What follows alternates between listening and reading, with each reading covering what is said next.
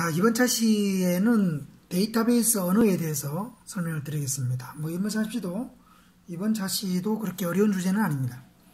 아, 데이터베이스를 컨트롤하거나 또는 데이터베이스의 어떤 질의를 할 때는 데이터베이스가 이해하는 언어를 사용해야 됩니다. 그게 바로 database language라고 하고 데이터베이스 언어라고 합니다.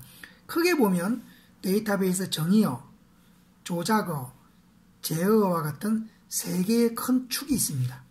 이제 그걸 알아볼 겁니다. 먼저 데이터베이스 언어는 데이터베이스 관리 시스템과 사용자 간의 연결을 하는 그 언어이자 기법입니다.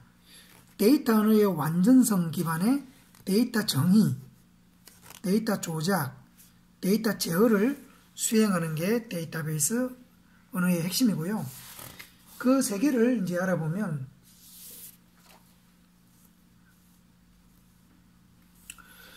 데이터 정의어는 DDL이라고 합니다. data definition language. 데이터를 정의하는 언어라는 거죠. 데이터베이스 구조를 정의합니다. 논리적, 물리적 데이터 구조 및 그 사상관계나 제약 조건을 정의하는 겁니다. 핵심은 데이터베이스의 구조를 정의한다는 거에 핵심이 있습니다. 물론 이것들은 메타데이터 형식으로 데이터베이스 관리 시스템 어딘가에 저장이 되겠죠. 거기 이제 데이터 사전 형식으로 저장된다는 거고요. 명령어는 create database나 drop database와 같은 물리적 구조를 조작하는 언어들이 되겠습니다.